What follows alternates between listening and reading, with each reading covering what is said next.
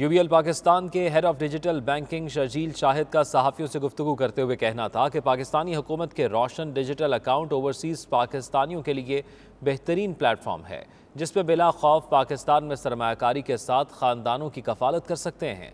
मजीद तफसलत bureau chief UK Ghulam Hussain Awan की इस report में। यूबीएल पाकिस्तान लंदन ब्रांच में एक प्रेस ब्रीफिंग का अहतमाम किया गया, जिसमें रोशन डिजिटल अकाउंट के हवाले से मीडिया को तफसीलात फराहम की गई इस मौका पर head of digital banking Sharjeel Shahid ने सहाफियों को बताया कि रोशन डिजिटल अकाउंट के ज़रिए पाकिस्तान में सरमाकारी के लिए स्टेट बैंक की हदायत पर ओवरसीज पाकिस्तानियों के लिए मुनाफा की शराह भी ज़्यादा रखी गई है और अकाउंट होल्डर्स के लिए महफूज तरीन रकूम की तरसील और हसूल को मुमकिन बनाया गया है। रोशन डिजिटल अब ऐसा प्लेटफॉर्म प्रोवाइड कर रहा है और स्पेशली अगर आप यूबीएल के थ्रू आएँ सो इतना सीमलेस और कन्वीनियंट प्रोसेस है कि जिसके अंदर मिनटों में ना सिर्फ़ अकाउंट खुलता है आप पैसे भिजवाएँ और जिस करेंसी में चाहें आप वो अपनी इन्वेस्टमेंट वहाँ रखें।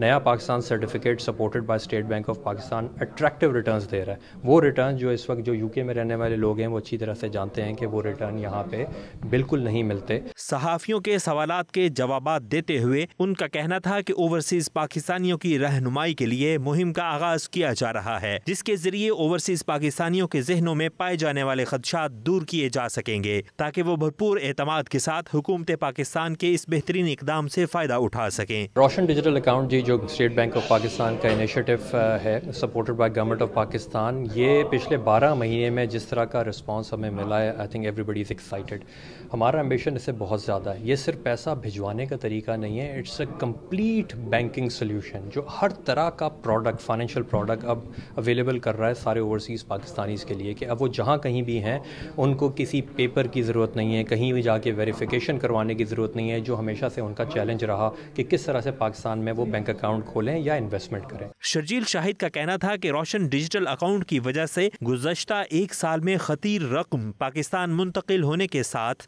सरमाकारी में इजाफा हुआ है। उन्होंने ओवरसीज पाकिस्तानियों को पैगाम देते हुए कहा ओवरसीज पाकिस्तानी अब रोशन डिजिटल अकाउंट के ज़रिए पाकिस्तान की बड़ी हाउसिंग स्कीम्स के अंदर अपना घर और गाड़ी बगैर किसी परेशानी के ले सकते हैं. रिसेंटली जो है मॉर्गेज जो हाउसिंग फाइनेंस और रोशन अपनी कार के नाम से इनिशिएटिव इंट्रोड्यूस हमने करवाए हैं कि जिसके अंदर अब ओवरसीज़ पाकिस्तानी सेलेक्ट सोसाइटीज़ में, जहाँ पे जो बड़े बड़े नाम हैं, जो बिल्डिंग सोसाइटीज़ वहाँ पे वहाँ पे प्रॉपर्टी की इन्वेस्टमेंट भी कर सकते हैं। इसके अलावा गाड़ी भी बड़े इजी टर्म्स के ऊपर इंश्योरेंस हो या वो फाइनेंसिंग की टर्म्स हो, बहुत ही कन्वीनियंट टर्म्स पे अब दिनों के अंदर प्रोसेस कंप्लीट होता है और गाड़ी की डिलीवरी भी जो हम वहाँ पे आपके जो बेनिफिशरी हैं आपके जो फैमिली मेंबर हैं उनको हम जिस तेज़ी से गाड़ी की डिलीवरी इंश्योर करवा रहे हैं तो मेरे ख्याल में ये ऑफ़र भी इज़ वेरी यूनिक ये भी पहले ऑफ़र पाकिस्तानियों के लिए अवेलेबल नहीं थी। एक सवाल के जवाब में उनका मजीद कहना था कि रोशन डिजिटल अकाउंट और इसमें सार्फिन के डाटा को मुकम्मल महफूज बनाया गया है और स्टेट बैंक इसका जामिन है।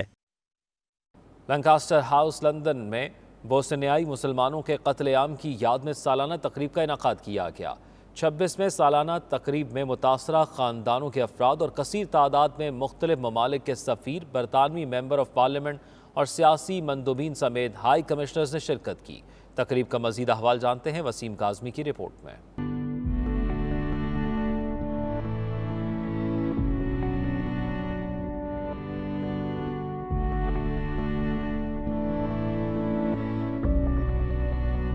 लंदन के लंकास्टर हाउस के हाल में बोसिनिया में खून से लिखी जाने वाली तारीख की याद में तकरीब का अहतमाम किया गया। इस मौके पर बोसिनियाई मुसलमानों की यूरोप में मज़हब, नस्ली इम्तियाज़ और तसब की बुनियाद पर नस्ल कुशी के वाकत को याद रखने और अदल इंसाफ के हसूल के लिए छब्बीसवीं यादगार इस्तबाली तकरीब में शहरियों ने भरपूर शिरकत की। इस मौके पर शुरा ने दुनिया की इस खूनी तारीख को दोहराया और आलम इस्लाम के खिलाफ तसब से भरी साजिशों पर इजहार ख्याल किया। तकरीब की मेजबानी के फ़रज़ बरतानवी वज़ीर ममलकत बरए खारजा दौलत मुश्तर और तरक्याती अमूर एम पी वैंडी मोर्टन ने सर अंजाम दिए। पचास से ज़्यादा ममालिक के सफ़ीर, हाई कमिश्नर्स, सियासी मंदूबीन और दीगर अफराद भी मौजूद थे। चेयरमैन रिमेम्बरिंग सरबरनी का वकार आजमी ओ बी ई ने इस्तकबाली तकरीब के मकासद बयान करते हुए कहा कि इन बीस लाख लोगों को इज़्ज़त देना और याद रखना जो नस्ल कुशी के नतीजे में बेघर हुए थे, हमारा फ़र्ज़ है। इस मौके पर मेंबर बरतानवी पार्लियामेंट व shadow deputy leader Afzal Khan, सदर रिमेम्बरिंग सरबरनी का लॉर्ड बोर्न मेंबर बरतानवी पार्लियामेंट और leader of the S N P chief Westminster Ian Blackford और मुतासरा खानदानों के अफराद ने भी तकरीब से खताब किया। उनका कहना था कि दुनिया में नफरत तासुब और इस्लामोफोबिया के खात्मे के लिए बोसिनियाई मुसलमानों की नस्लकुशी के वाकत को किसी सूरत भी फरामोश नहीं किया जा सकता। आलमी बरदरी मुस्तबिल में ऐसे वाकत की रोकथाम के लिए ठोस इकदाम करे। I'm here at the Remembering Srebrenica event, which is which marks 26 years um, since the um, the events in, in Srebrenica, and I've been really touched, but also deeply moved, not just by the number of people here today, but by the personal stories and testimonies that we have that we have heard, and it's important that we we don't forget. बुनियादी point यही है कि ये जो hate होता है इसको अगर आप चैलेंज नहीं करेंगे तो ये हेट ही अल्टीमेटली जेनोसाइड पे पहुँच जाता है। और जेनोसाइड को रोकने के लिए एक्शन की ज़रूरत है। आज भी हम देख रहे हैं रोहिंगा की हालत देख लें कश्मीर की हालत देख लें पाकिस्तान के अंदर हालत देख लें आप इसी तरह वीगस की हालत देख लें। We're commemorating in physical form for the first time for 18 months the dreadful events that happened in Bosnia Herzegovina 26 years ago, and particularly in Srebrenica, where there was the dreadful genocide which involved lots of Muslim men and boys being killed, and those who were left behind. We're commemorating them too. The mothers of Srebrenica who've shown such dignity and fortitude through all this, and it's representatives from around the world because the diplomatic corps is here in strength as well as political leaders of all the major parties coming together to say this must never happen again. We must learn the lessons. We must educate our own youth. I'm here to honour the memory of all the lives that have been lost and to help make peace in the world. We can't afford to be complacent about the atrocities and cruelty that human beings are capable of inflicting upon each other. I think it's very, very important for us to understand that genocide doesn't happen overnight. Well, I came here today to, make, to share my story of growing up during the war in Bosnia and to also remember all the victims um, that were killed uh, during the genocide in Bosnia, especially those in Srebrenica. Um, that were executed by Bosnian Serb forces. My dad actually survived the genocide in 95, so I'm a second generation survivor. Um, we always love to come here, it's always a nice thing to see people commemorating every year, and it's finally the first time after Corona that we've been able to do it in person. Spread the word about what has happened in Bosnia and Herzegovina and prevent it or use my experiences to help the world, UK in particular, um, and its people and its communities to realize that if unchallenged, hatred can lead to war. It's a huge uh, honor and a privilege uh, to be part of the annual commemoration of the Srebrenica genocide, and uh, obviously, uh, we as a nation still healing uh, from the conflict and from the genocide truly appreciate the, the, the remembrance and the, the, efforts that the UK government, uh, all parties involved in the political life of this country.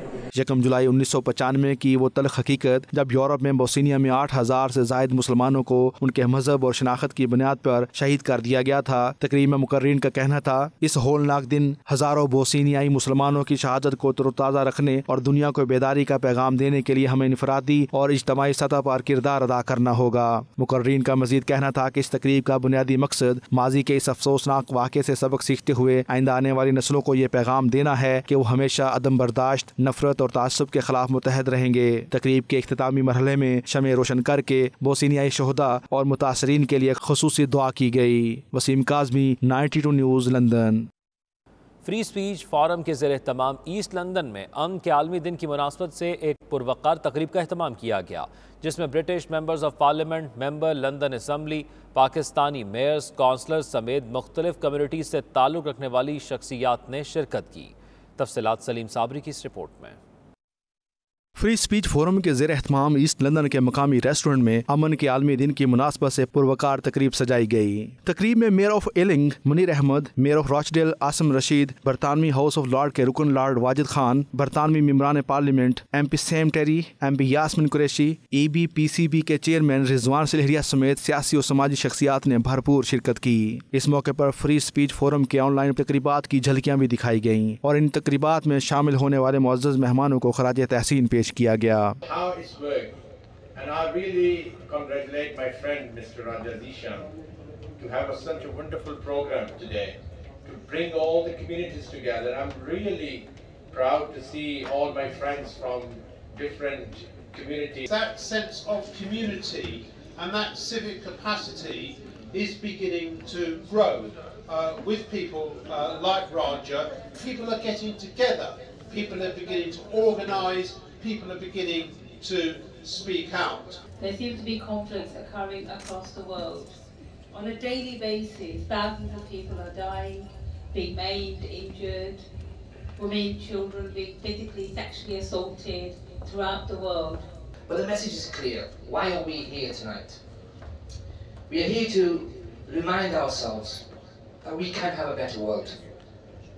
We can have a world where we spread love, appreciate each other, and just focus on humanity. Put people in place to go out and deliver those meals with local trade unions, local churches, sending volunteers. Within a month, we were delivering over 4,000 hot meals a week to some of the most vulnerable residents who are at home shielded. And I tell you, I went out on many of those delivery runs myself because seeing the difference of people coming together. The message that we have to spread and the message we have to give to our communities. When I talk about communities, London is home to many ethnicities, many races and many religions. This has been offered free of charge to any and all religions across London. We have also trained some 200 volunteers from other faiths in these methods.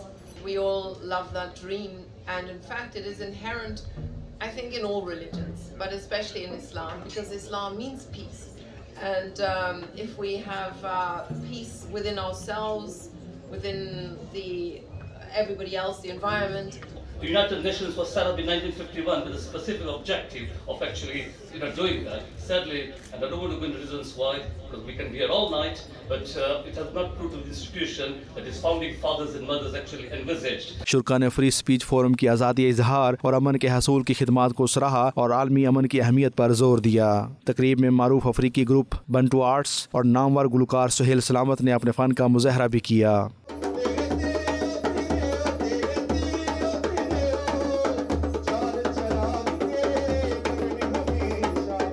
मुकर्री ने अपने खिताब में कहा कि तमाम मजाहब, तमाम communities तमाम रंगो नस्ल के लोगों को अमन के लिए मुतफिक होना चाहिए। अमन लोगों की ज़िंदगी में अहम किरदार अदा करता है। अमन के हवाले से कोशिशों को खराज तहसीन पेश करते हैं। Saleem Sabri, ninety two news, London. Gateshead और न्यू कैसल की फजा सोकवार मारूफ समाजी और कम्युनिटी का दर्द रखने वाली हर दिल अज़ीज़ शख्सियत, हाजी मोहम्मद यूनस मलिक इक्यासी बरस की उम्र में खालिक हकीकी से जा मिले। नमाज़ जनाजा में नॉर्थ ईस्ट में रहने वाले मुसलमानों की बड़ी तादाद और गेट्स हेड के कौंसल ऑफिसर्स ने शिरकत की। मजीद तफसलत ब्यूरो चीफ गुलाम हुसैन आवान की इस रिपोर्ट में। गेट्स हेड और न्यू कासल की इंतहाई मरूफ व मकबूल और हर दिल अज़ीज़ शख्सियत हाजी मोहम्मद यूनस मलिक इक्यासी बरस की उम्र में हाल के हकीकी से जा मिले। उनकी नमाज़ जनाजा में नॉर्थ ईस्ट में रहने वाले मुसलमानों की बड़ी तादाद ने शिरकत की। नमाज़ जनाजा में शामिल तमाम अफराद की आँखें अशकबार थीं। उनकी तदफीन के मौका पर मुकामी मुसलमान कम्युनिटी के अलावा गेट्स हेड कौंसल से कौंसल ऑफिसर्स भी शरीक हुए जिन्होंने कम्युनिटी की ग्रां कदर हिदमत पर उन्हें ज़बरदस्त हराज तहसीन पेश किया।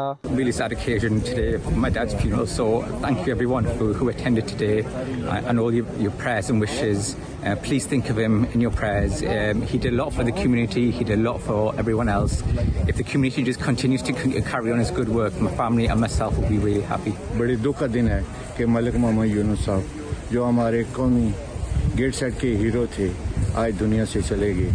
आज उनका फ्यूनल है। हम सब दुआ गो हैं कि अल्लाह ताला उनको जन्नत फरदौस में आला मकान नसीब फरमाए। मलक साहब की तारीफ़ जितनी की जाए इतनी कम है। उन्होंने अपनी ज़िंदगी में तीस साल जो है वो एथनिक माइनॉरिटी के साथ गुजारे और 20-25 साल जो है मुस्लिम सोसाइटी बना के उन्होंने गुजारे, जिसके हाजी असलम साहब है, मलाल साहब है, बाकी सारे साथी जितने भी हैं, उनके साथ उन्होंने मिल के काम किया। गेट शर्ट आज यतीम हो गया।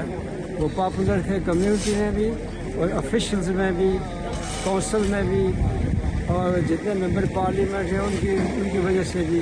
और उन्होंने इंतहा की कोशिश, हर आदमी के साथ जाते थे। किसी के साथ कोई काम हो जहाँ भी हो दौड़ पड़ते थे He was uh, always making himself available to provide helpful advice and guidance on behalf of his community in conversation with the council. And as a result of that, over the years, we've developed a very strong relationship between uh, the, the council uh, and the broader Muslim community. मरहूम हाजी मोहम्मद यूनस ने अपनी तमाम ज़िंदगी को सिर्फ़ community की खिदमत के लिए वक्फ कर रखा था। वो गेट्स हेड मुस्लिम सोसाइटी के वाइस चेयरमैन और एथनिक माइनॉरिटी ग्रुप के मेंबर भी रहे। हाजी मोहम्मद यूनस की नुमाया खिदमात में गेट्स हेड के साल्ट वेल कब्रस्तान में मुसलमानों की तदफीन के लिए ज़मीन का हसूल मुकामी मसाजिद की तमीर के लिए फंड्स और मुस्लिम कम्युनिटी सेंटर का क्याम शामिल है। मौला इनके अमाल खैर को नमाज़ रोज़े हज जक़ात सदका और खैरात और फिर तेरे बंदों की इस बंदे ने सारी ज़िंदगी खिदमत की है। कम्यूनिटी की फलाह और बहबूद के लिए काम किया दीगर कम्यूनिटीज के लिए काम किया इलामीन ये इबादत तेरी बारगाह में बहुत आला दर्जा रखा न्यूजीलैंड के बाद इंग्लैंड क्रिकेट बोर्ड ने भी पाकिस्तान आने से इनकार कर दिया। इंग्लैंड क्रिकेट बोर्ड के फैसले पर एक तरफ़ बरतानवी हुकूमत बरहम है तो दूसरी जानब ओवरसीज़ पाकिस्तानी भी खासे नाराज़ दिखाई देते हैं। लंदन में 92 न्यूज़ से गुफ्तु करते हुए ओवरसीज़ पाकिस्तानियों ने इंग्लैंड क्रिकेट बोर्ड को कड़ी तनकीद का निशाना बनाया। न्यूजीलैंड के बाद इंग्लिश क्रिकेट बोर्ड की जानब से पाकिस्तान के दौरे से मजदूरी ज़ाहिर करना, ये बहुत सारे जो दुनिया भर में क्रिकेट फ़ैन हैं वो इससे बहुत मायूस भी हैं, नाला भी हैं और वो इंग्लिश क्रिकेट बोर्ड के साथ साथ जो इंग्लैंड बरतानी हुकूमत है, उसको तनकीद का निशाना बना रहे हैं। और लोगों का कहना है कि पाकिस्तान में पंद्रह साल के बाद जो है वो क्रिकेट की बहाली शुरू हो रही थी तो ऐसे में इंग्लैंड की तरफ़ से इनकार करना जो है वो बहुत मायूस कन है। हमारे साथ यहाँ पर क्रिकेट से प्यार करने वाले लोग मौजूद हैं लंदन में। इनसे पूछते हैं कि वो इस फैसले से कितने दुखी हैं। तो कैसा लग रहा है ये जो इंग्लैंड क्रिकेट बोर्ड ने फैसला किया? है बहुत गलत फैसला है इंग्लैंड क्रिकेट बोर्ड का पाकिस्तान को, अपनी टीम पाकिस्तान ना भेजने का। मेरे ख्याल से जितना पाकिस्तान सिक्योर इलाका है और जो मुल्क है, और जितनी सिक्योरिटी गवर्नमेंट ऑफ़ पाकिस्तान आपको सिक्योरिटी दे रही है इंग्लैंड क्रिकेट क्रिकेट टीम को क्रिकेट बोर्ड को, कि आप अपनी टीम भेजें और उनको प्रेसिडेंशियल प्रोटोकॉल से लेकर जाते हैं यहाँ पर। मेरा ख्याल से इंग्लैंड का एक यक तरफा फैसला है ये, और मेरे तो ये लगता है कि इन्फ्लुएंस फैसला है और मुल्कों की तरफ़ से। पाकिस्तान एक बहुत सेफ़ मुल्क है। पाकिस्तान में लोग आते हैं खेलने के लिए क्रिकेट। इससे पहले भी पिछले साल भी, गुजशत सालों में भी पाकिस्तान इंटरनेशनल क्रिकेट टीमें आई हैं। कोई किसी किस्म की कोई प्रॉब्लम नहीं हुई। मेरे ख्याल से रमीज़ राजा का बिल्कुल सही स्टांस है कि जिसने आना है वो पाकिस्तान में खेले और पाकिस्तान में ही यहाँ पर one day twenty twenty twenty और टेस्ट क्रिकेट होनी चाहिए और वन डेज़ होने चाहिए। क्योंकि अगर पाकिस्तान से बाहर जाएँगे आपकी क्रिकेट वो इतना फ्लरिश नहीं करेगी। आप कैसे देखते हैं इस फैसले को? बींगे आप भी क्रिकेट के प्लेयर हैं। आई थिंक कि ये एक बहुत ज़्यादा पोलिटिकली इन्फ्लुएंस्ड फैसला है। आई um, थिंक इसमें इंडिया का बहुत बड़ा हाथ है। और कीपिंग इन माइंड के पाकिस्तान में ऐसे सिक्योरिटी का कोई इशू है नहीं। पाकिस्तान में आ, सारी दुनिया से लोग आ रहे हैं सारी दुनिया की टीम्स आके खेल के गई हैं।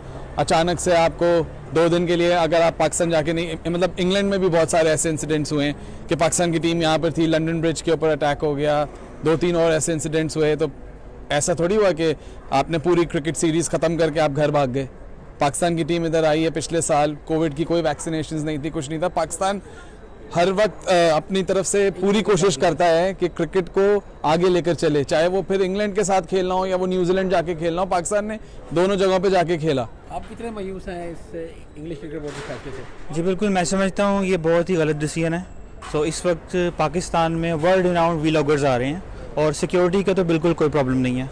सो so, ईसीबी को और पीसीबी को इसके ऊपर एक्शन लेना चाहिए ताकि जल्द से जल्द इस मैटर को सॉल्व करें। आईसीसी को भी इसमें इन्वॉल्व होना चाहिए क्योंकि एक नेशनल इशू है। पाकिस्तान इस तरह आगे की तरफ़ जा रहा है। गवर्नमेंट एक अच्छे हाथों में है। So I don't think so it's a good decision so we must look into it Saudi Arab आज अपना इक्यानवा कौमी दिन भरपूर जोशो जज्बे के साथ मना रहा है। सऊदी फ़जाइया ने शानदार एयर शो का अहतमाम किया। जिसे देखने के लिए मुल्की और गैर मुल्कियों की बड़ी तादाद मौजूद थी। दारकूमत रियाज में कौमी दिन के हवाले से सऊदी फ़जाइया की जानब से शानदार एयर शो पेश किया गया, जिसमें माहिर पायलट्स ने फ़जा में ख़तरनाक फॉर्मेशन बनाई और कौसो गजा के रंग बिखेरे, जिससे आसमान रंगीन हो गया। सऊदी शहरियों के अलावा पाकिस्तानी और दीगर गैर मुल्कियों ने भी एयर शो को देखा और जंगी जहाज़ों के करतब से खूब महसूस हुए।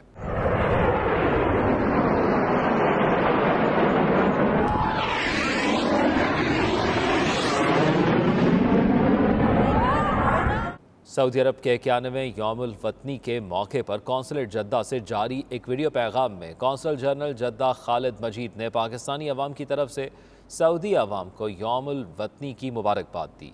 उनका अपने पैगाम में कहना था कि सऊदी अरब और पाकिस्तान का बरदराना और मजहबी रिश्ता है। अजीम ब्रदर मुल्क, सऊदी अरब के कौमी दिन के पुरमसरत मौके पर मैं पाकिस्तानी क्यादत, पाकिस्तानी अवाम सऊदी अरब में बसने वाली पाकिस्तानी कम्युनिटी और अपनी जानब से सऊदी की आदत और ब्रदर सऊदी अवाम को दिल की अथाह गहराइयों से मुबारकबाद पेश करना चाहता हूँ। यकीनन सऊदी अरब ने अपने क्याम से लेकर आज तक हर शुबा ज़िंदगी में बेमिसाल तरक्की की है। हरमैन शरीफ फ़ैन की सरजमीन होने के नाते सऊदी अरब का तमाम मुस्लिम उम्मा में और बिलखसूस पाकिस्तानियों की नज़र में एक नहायत अहम मकाम है। और मुझे खुशी है कि सऊदी क्यादत और सऊदी अवाम ने भी अपने इस अहम करदार को बखूबी और खुशबी से नभाया है। पाक सऊदी दो तरफा ताल्लुक गहरे मुश्तर सकाफती और मजहबी रिश्तों से अस्तवार हैं। इन ताल्लुक को बढ़ाने में दोनों मुल्कों की क्यादत और आवाम ने बराबर किरदार अदा किया है।